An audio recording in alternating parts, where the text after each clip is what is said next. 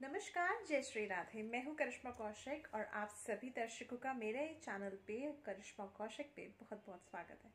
मेरे चैनल को देखने के लिए बेल आइकन प्रेस करके यूट्यूब पे सब्सक्राइब कर लें, लाइक कीजिए और कमेंट करके ज़रूर बताइएगा कि वीडियो हमारी कैसी लगी आपको।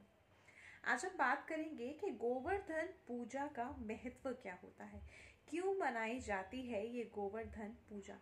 और इसके साथ साथ ये जो पूजा है, ये कौन से भगवान से जुड़ी हुई तो देखिए, गोवर्धन पूजा जो मनाई जाती है, अगर तिथि की सबसे पहले बात करें तो तिथि रहती है कार्तिक मास के शुक्ल पक्ष की प्रतिपदा तिथि।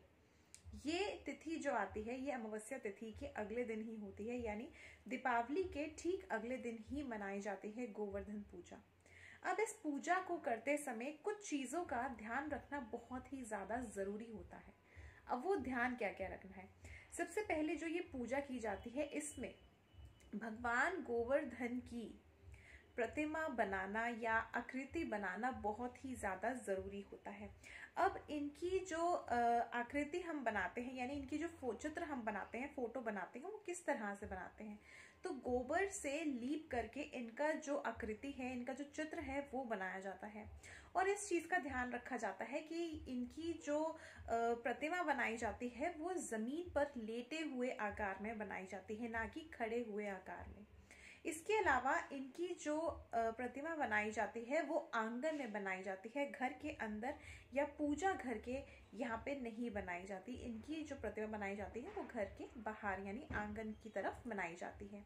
इसके अलावा अगर देखा जाए तो इस दिन भगवान कृष्ण जी की पूजा आराधना की जाती है। अब देखिए, कृष्ण जी की पूजा आराधना का महत्व क्या है? क्योंकि वो ही भगवान गोवर्धन कहलाते हैं। अब ऐसा क्यों है? क्योंकि अगर पुरानी कथाओं के अनुसार देखें इस चीज़ को तो कहीं ना कहीं भगवान कृष्ण जो है, गोवर्धन पर्वत को भगवान कृष्ण जी ने अपनी छोटी उंगली पर उठा लिया था। और इसीलिए ये जो पर्व है, इस पर्व पे भगवान कृष्ण जी की पूजा करना बेहद ही शुभ माना जाता है। अब, पुरानी कथाओं के अनुसार अगर देखा जाए तो गोवर्धन पर्वत जो है, भगवान कृष्ण ने क्यों उठाया था अपनी छोटी उंगली पे? तो देखिए ये इसके पीछे जो पौराणिक कथा है, वो भगवान इंद्रदेव से जुड़ी हुई है, यानी जो बारिश के जल के देवता माने जाते हैं, इंद्रदेव। अब ऐसा कहा जाता है कि ब्रजवासियों पे इंद्रदेव ने अपना इतना अधिक प्रकोप दिखा दिया था वर्षा करके कि सभी ब्रजवासी जो थे वो कष्ट में आ गए थे, संकट में आ गए थे।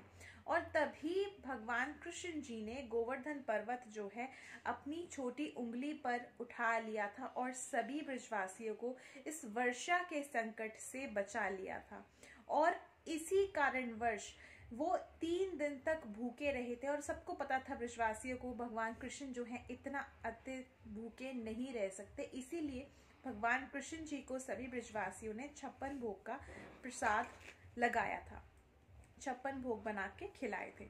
और इसी तरह से जो इंद्रदेव थे, उनका जो घमंड था कि वो बहुत संकट पैदा कर सकते हैं ब्रजवासियों के लिए, वो भी चूर चूर कर दिया था। तो इसीलिए इस पर्व को भी इसी तरह से माना जाता है कि बुराई पर अच्छाई की जीत। ये एक तरह से पर्व जो है, ये दर्शाता है कि कहीं ना कहीं घमंड चाहे कितना भी अधिक हो, मगर एक समय ऐसा आता है कि व्यक्ति का घमंड ज़रूर टूट जाता है। तो इस पर्व हमें ये चीज़ें दर्शाता है और इसके साथ साथ इस दिन भगवान कृष्ण जी की ही पूजा आराधना की जाती है। जो हम आकृति की बात कर रहे थे, यानी कि कौन से भगवान की आकृति बनाई जाती है तो भगवान कृष्ण जी की आकृति बनाई जाती है गोबर से, और साथ ही साथ इनके साथ एक गाय का बछड़ा भी बनाया जाता है, और इनको पुष्प से और भी अलग अलग चीज़ों से सजाया जाता है। इसके बाद इनकी पूजा की जाती है। नाभि पे एक कटोरी में इनको अक्षत और छप्पन भोग का प्रसाद जो है वो रखा जाता है। उसके बाद इनकी पूजा आराधना की जाती है। इस दिन गाय को भी अगर आप हरा चारा खिलाते हैं या गौ दान करते हैं या गौ पूजा करते हैं या गौशाला में कोई भी चीज़ आप हरा चारा हो गया या अन्य चीज़ गौ के लिए दान करते हैं तो ये भी आपको बहुत शुभ फल की प्राप्ति करवाता है। तो ये कुछ चीज़ें हैं जो गोवर्धन पे, पूजा पे आपको ध्यान रखनी है।